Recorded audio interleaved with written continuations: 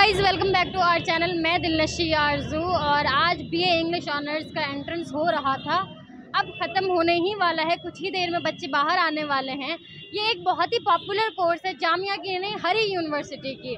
और इस पेपर को देने के लिए हर बच्चा सोचता है कि मैं तो कर ही लूँगा। There are several question which we can attempt easily but ऐसा नहीं है। इस पेपर को भी वही लोग टैकल कर सकते हैं जो सिक्सटी मतलब जामिया के लिए तो ए आई आर आपका सिक्सटी ही हो, तभी आप सिलेक्ट हो सकते हैं।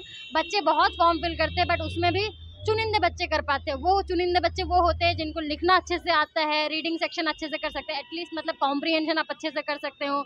आपको एमसीक्यू की सारी चीज़ें पता हो कि आपको क्या पढ़ना है, नहीं पढ़ना है। पैटर्न क्या होता है क्वेश्चन पेपर का लैंग्वेज क्या लिखनी होती है आपको सब्जेक्टिव में, इन सारी चीज़ों को जानने की कोशिश करेंगे इस वीडियो में। बने रहिए वीडियो के आखिर तक। बी इंग्लिश ऑनर्स कैसा हुआ आपका पेपर वॉज़ एवरेज बिकॉज़ मैंने ज़्यादातर पी वाई क्यूज़ पढ़े थे और उसमें से लाइक एक दो क्वेश्चन ही आए पी वाई क्यू में से। ज़्यादातर नए क्वेश्चन थे आपने सिलेबस देखा था जामिया का? हाँ। क्या है सिलेबस में जामिया के? मतलब इंग्लिश ऑनर्स के लिए क्या चाहिए क्या पढ़ना बेसिकली आपको एक तो ऑथर्स के नाम सबसे ज़्यादा चाहिए। और uh, जो प्राइसेस होते हैं like Nobel prize in literature and everything इस चीज़ के लिए भी बहुत ज़्यादा देखना पड़ता है। And then the basic English grammar वो तो आपकी स्ट्रॉन्ग होनी चाहिए। दैट्स इट सब्जेक्टिव ऑब्जेक्टिव दोनों के लिए सेम ही पैटर्न है सेम ही सिलेबस है? लाइक like, uh, नहीं ऑब्जेक्टिव में they ask more about authors and grammar and everything and then subjective में they ask you for an essay and then like grammar वैसी वाली you have to change tenses and all. So If you can recall how what kind of essays they are asked. uh, first was a passage. तो passage में पाँच mark का एक question था। तो like बस आप समझ जाओ कैसा आंसर होना था उसमें। Okay. एंड उसके बाद uh, मतलब उन्होंने एक इनकरेक्ट सेंटेंस दे रखा था यू हैड टू करेक्ट ऐसा था। एंड देन डेफिनेशन दे रखी थी and then you had to tell the word for it and बस ऐसा ही बहुत बढ़िया गया है। मैंने इनफैक्ट बहुत सारी वीडियोस देखी थी ऑनलाइन मेरा वो सारा अच्छा चला गया। I am so happy okay क्या सिलेबस है इसके लिए? इसके लिए जितने ऑथर्स हैं पेन नेम्स हैं जितने भी एटलीस्ट ट्वेंटी सिक्सटीन तक के जितने भी ऑथर्स को जो जो पुलिस प्राइज़ हुआ जेसीबी प्राइज़ हुआ ज्ञानपीठ अवार्ड हुआ बुकर प्राइज़ हो गया नोबेल प्राइज़ हो गया सब याद याद कर लीजिए। और कुछ कुछ जो बहुत बहुत जो पॉपुलर प्लेज है ना उनकी उनकी कम से कम बेसिक स्टोरी लाइन समझ लो आप। जैसे टेम्पेस्ट हो गया मैकबेथ हो गया किंग लियर हो गया उसका बस बेसिक वो पता होना चाहिए कि कौन कौन था कैरेक्टर उसके बेसिस पे क्वेश्चन आए थे। फिगर ऑफ़ स्पीच में हर साल कुछ ना कुछ अपडेट होता है। तो ये न्यू फिगर ऑफ़ स्पीच देते हैं। क्या इस साल भी कुछ न्यू पूछा है बहुत न्यू था काफ़ी अच्छा था। जो लिटरेरी टर्म्स होते हैं ना वो लोगों को सर्च करके सारे पढ़ लेने चाहिए जितने इंपॉर्टेंट है। हाँ। वो उससे उससे कवर अप हो जाएगा लेकिन इस बार थोड़े से टफ थे। आई थिंक ये मोस्टली न्यू वाले देते हैं लाइक पुराने वाले नहीं देंगे मेटाफर वगैरह नहीं देंगे इजी वन तो नहीं देते। बिल्कुल भी इजी नहीं देंगे आपसे वो पूछेंगे कि सोनेट में क्या डिफरेंस होता है विलेनल में क्या डिफरेंस होता है। अच्छा इसमें ऐसी कई बार ऐसे पेपर में देखा गया है कि इसमें लिटरेरी कैरेक्टर से पूछा जाता है क्या इस बार भी क्वेश्चन में आया था यस यस इनफैक्ट जो पॉपुलर लाइंस है वो भी याद कर लेना चाहिए जैसे break the ice break the ice exact वो तो आया भी था। मैंने प्रीवियस ईयर क्वेश्चन सारे किए थे तो उससे काफ़ी हेल्प हुआ था। अच्छा करंट अफेयर्स में कुछ पूछा जाता है? नहीं नहीं बस जो इम्पोर्टेंट एक दो जैसे इस बार अमिताभ घोष का आया था तो Amitav Ghosh is very popular जो एक दो इम्पोर्टेंट राइटर्स हैं उनका उन पर थोड़ा टैब रखिए हो जाएगा। लाइक like, अगर आपका करंट अफेयर्स भी आता है तो लिटरेचर से ही रिलेटेड बिल्कुल बिल्कुल। एवरीथिंग इज़ प्रॉपर लिटरेचर चलिए अब बात करते हैं सब्जेक्टिव पोर्शन की। सब्जेक्टिव पोर्शन में किस तरीके के क्वेश्चन पूछे हैं? बहुत आसान थे यार। पहले तो डायरेक्ट इनडायरेक्ट करने को बोलते थे अब तो वो भी नहीं था। अब तो उन्होंने बोलता कि आपको कुछ सेंटेंसेस दे रखे हैं। फाइव आपको उनमें से जो भी एरर है उसको स्पॉट करके उसे सही करके रीराइट करना है। वो आसान होता है। हम करते हैं टेंथ तक। फिर उसके बाद आपसे वो पूछेगा one word substitution which is a very important but वो पॉपुलर ही होता है। जैसे स्टडी ऑफ़ रिलीजन क्या होता है? सिंपल सिंपल और बाकी ऐसे का भी टॉपिक सिंपल ही था।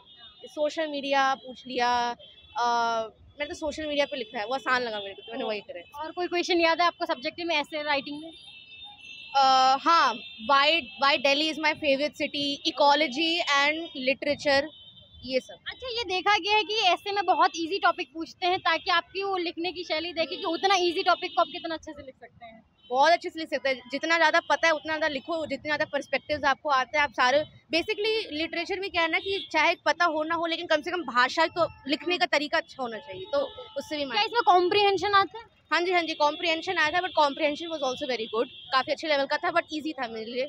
I did it okay upcoming aspirant को आप अपने एक्सपीरियंस से क्या सजेशन देना चाहेंगे? हर दिन आप पढ़ाई करो at least take out two hours every day and watch B A English honours videos तो आपके लिए बहुत ईजी हो जाएगा by the end of the day मेरा नाम वानिया अजहर है। कहाँ से आई हैं आप? मैं यहीं दिल्ली से हूँ और मैं आपकी ही कोचिंग की एक स्टूडेंट हूँ ये हमें पता है मगर ये हमारे व्यूअर्स को नहीं पता। इसलिए मैंने बता दिया शिवांगी मैम हमारे हमें पढ़ाती थी। काफ़ी अच्छी थी वो। और पेपर भी आज का ऑब्जेक्टिव पार्ट थोड़ा सा हार्ड था लेकिन सब्जेक्टिव पार्ट काफ़ी अच्छा था सही था। अच्छा ऑब्जेक्टिव में कितने क्वेश्चंस पूछे जाते हैं? फोर्टी क्वेश्चंस पूछे जाते हैं और सब्जेक्टिव सिक्सटी मार्क्स का होता है। अच्छा आपने बोला ऑब्जेक्टिव थोड़ा डिफ़िकल्ट था तो कौन सा पोर्शन आपको कौन से क्वेश्चन थे किस एरिया से थे जो आपको डिफ़िकल्ट लगे?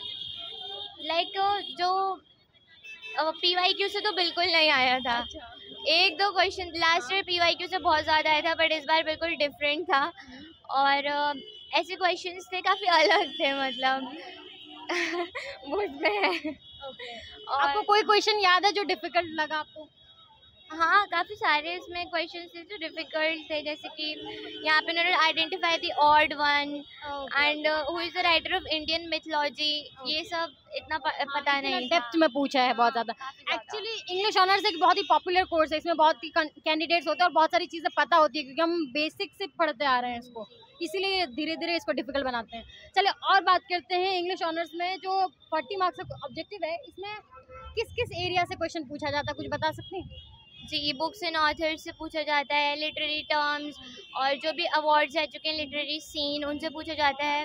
वन वर्ड सब्सटीट्यूशन भी आज पूछे गए हैं उसमें एक दो बस यही सब है। अच्छा इसमें ऐसा होता है कि बच्चे ये पूछते हैं कि जो ऑथर्स एंड बुक्स भी पूछा गया है वो कितने साल के पढ़ना है? मैं ऐसा ऐसा तो नहीं पाँच साल पुराना बुक्स एंड ऑथर पूछ दिया। बुक्स एंड ऑथर्स तो बहुत बहुत बहुत सारे होते हैं। जितना पढ़ लीजिए उतना कम है और सारे ही पढ़ने होते हैं जो पुराने रह चुके हैं।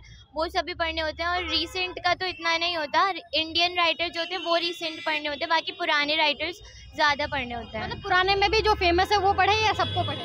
फ़ेमस पढ़ लीजिए क्योंकि वो तो कहीं से भी पूछ लेते हैं वो तो इतना कोई भी नहीं पढ़ पाएगा। आज तो उन्होंने बहुत ही अजीब अजीब पूछे। हैं सिक्सटी मार्क्स का पेपर आपका कैसा हुआ? सिक्सटी मार्क्स का काफ़ी अच्छा था। वैसे ऐसे में तीन टॉपिक्स पूछे जाते हैं। आज फोर टॉपिक्स पूछे गए थे। तो ज़्यादा बच्चे लिख सकते हैं। और टॉपिक्स इतने हार्ड नहीं थे। मैंने लिखा था बुक वाले टॉपिक पे ही the book I wish I had written तो मैंने थोड़ी प्रिपरेशन थी उस टॉपिक पे तो वो मेरा अच्छा हुआ है। Four three and half page लिख दिया है। मैम ने कहा था थ्री पेज लिख देना। काफ़ी स्पेस देते हैं तो थोड़ा और लिखना है। लिमिट्स भी देते हैं? हाँ थ्री हंड्रेड थी word limit one word substitution थे फाइव मार्क्स के वो मेरे काफ़ी अच्छे हुए। सारे आते थे लास्ट ईयर मुझे नहीं आते थे। और एरर स्पॉटिंग भी फाइव मार्क्स की थी, जिसमें से एक में थोड़ा डाउट था, बाकी मुझे आते थे। अच्छा इस बार बात करें अगर जो चार क्वेश्चन आपके दिए गए थे, क्या ऐसा था कि चार क्वेश्चन में आपको कोई दो अटैम्प्ट करने थे या एक ही अटैम्प्ट करने थे थर्टी मार्क्स के या फिर ट्वेंटी मार्क्स एक ही अटेम्प्ट करना था ऐसे में। फोर में से वन थर्टी मार्क्स अच्छा बहुत बच्चे लास्ट लास्ट टाइम में एकदम तैयार होते हैं कि मुझे अब फॉर्म फिल कर दिया अब मुझे तैयारी करनी है। तो उनके लिए क्या सजेशन है? कहाँ से पढ़े क्या पढ़े जो उनका फिफ्टी परसेंट पेपर सॉल्व हो जाए? लास्ट टाइम पे काफ़ी हार्ड है। थोड़ा पहले से ही प्रिपरेशन करो। बहुत लर्निंग है इसमें। और ऐसे के लिए बहुत प्रैक्टिस चाहिए होती है। ऐसा सिंपल स्कूल वाला ऐसे नहीं लिखना होता। वो कैबलरी बिल्ड करनी पड़ेगी। तो मेहनत तो बहुत है इस कोर्स में भी। जो कर रहे हैं वही जानते हैं। बाकी तो बोल देते हैं कि इंग्लिश इंग्लिश ही तो दे रहे हो बट हम हमें पता है कितनी मेहनत लगती है। और आज कॉम्प्रीहेंशन था वो भी इतना हार्ड कॉम्प्रीहेंशन नहीं था। सही था। अपकमिंग एस्पिरेंट को क्या सजेशन देना चाहेंगे अपने एक्सपीरियंस से? टाइम मैनेजमेंट को भी मद्देनजर रखते हुए। सबसे पहले एम सी क्यू कर लीजिए जल्दी जल्दी। और मैंने सब फ़ौरन में ऐसे पे गई पहले कॉम्प्रीहेंशन नहीं किया मैंने।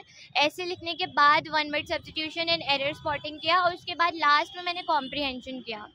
क्योंकि ओएमआई शीट वो पहले ले लेते हैं तो ऑब्जेक्टिव आपको पहले करना होगा। चले मैं उम्मीद करती हूँ कि आपका सिलेक्शन हो आप जामिया के पार्ट बने। थैंक यू सो मच मेरा पेपर तो वैसे बहुत अच्छा हुआ है बट जो पढ़ के नहीं आया उसके लिए ऑब्वियसली टफ है। और लेंदी तो नहीं था वैसे बट मेरा ठीक ठाक अच्छा आपने बोला कि आपके हिसाब से अच्छा हुआ है तो मतलब क्या पोर्शन था क्या ऐसी चीज़ें थी जो आपको अच्छी लगी और इजी लगा?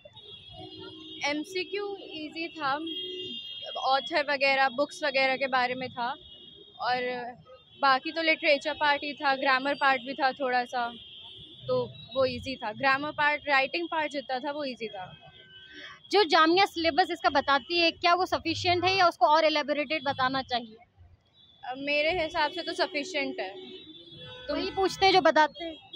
हाँ मतलब थोड़ा सा आउट ऑफ़ आता है but most of the part के लिए ठीक है। एक तो पैराग्राफ ही आता है। जो पढ़ के क्वेश्चन आंसर करने होते हैं और ग्रामर आती है लाइंस दे देते हैं सेंटेंसेस उसे करेक्ट करके लिखना होता है तो वो इजी था। मतलब ऐसे सेंटेंसेस तो नहीं कि बहुत डिफ़िकल्ट कि बच्चा फ़र्स्ट टाइम अटेम्प्ट ही ना कर पाए इंग्लिश ऑनर्स के हिसाब से कि वो आप तीन साल में सीखेंगे वैसे। नहीं नहीं बहुत ईजी थे। मतलब हाँ मतलब टेंथ से तो नीचे नीचे के तो। चले मैं उम्मीद करती हूँ कि आपका सिलेक्शन हो आप जाविया की पार्ट बने वैसे हमारी पिछले साल की एक स्टूडेंट थी एमन नाइन से। उनका भी सिलेक्शन हुआ है। इस बार आप एमन फिर से सिलेक्ट हो। Thank you